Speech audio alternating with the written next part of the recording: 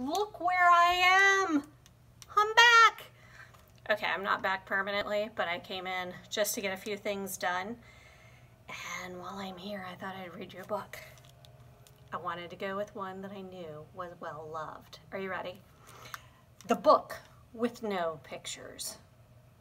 Hmm, probably a good thing to read since it has no pictures. By B.J. Novak. Lot of letters on those pages. The Book with No Pictures. Read with permission of the Penguin Group. This is a book with no pictures. It might seem like no fun to have someone read you a book with no pictures. It probably seems boring and serious. Except, here's how books work. Everything the words say, the person reading the book has to say. No matter what. What's coming?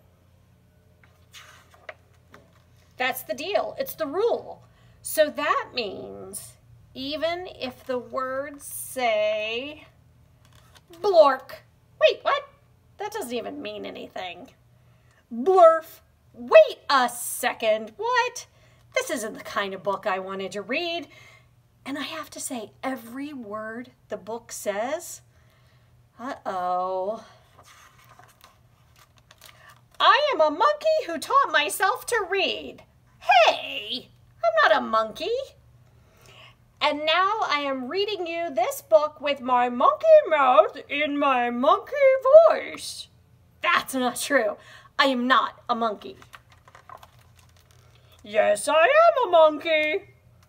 Also, I am a robot monkey. What? And my head is made of blueberry pizza. Wait a second. Is this whole book a trick?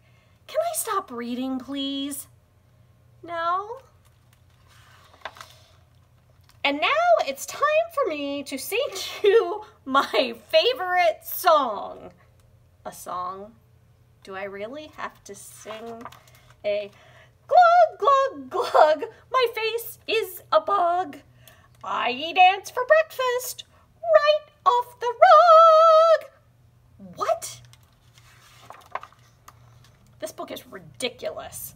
Can I stop reading yet? No? There are more pages? I have to read the rest? My only friend in the whole wide world is a hippo named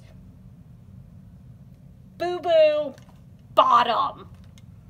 Boo Boo Bottom. And also, the kid I'm reading this to is the best kid ever in the history of the entire world. Oh, really? And this kid is the smartest kid too, because this kid chose this book even though it had no pictures. Because kids know this is the book that makes grown-ups have to say silly things and make silly sounds like, oh no, oh no, here it comes. Glurgawaka magrumpadoo, ay ay ay ay, broog, broog, broog, oomph, eemph, bliggity blaggity, glibbity globbity, globbity glibbity, beep boop, ee,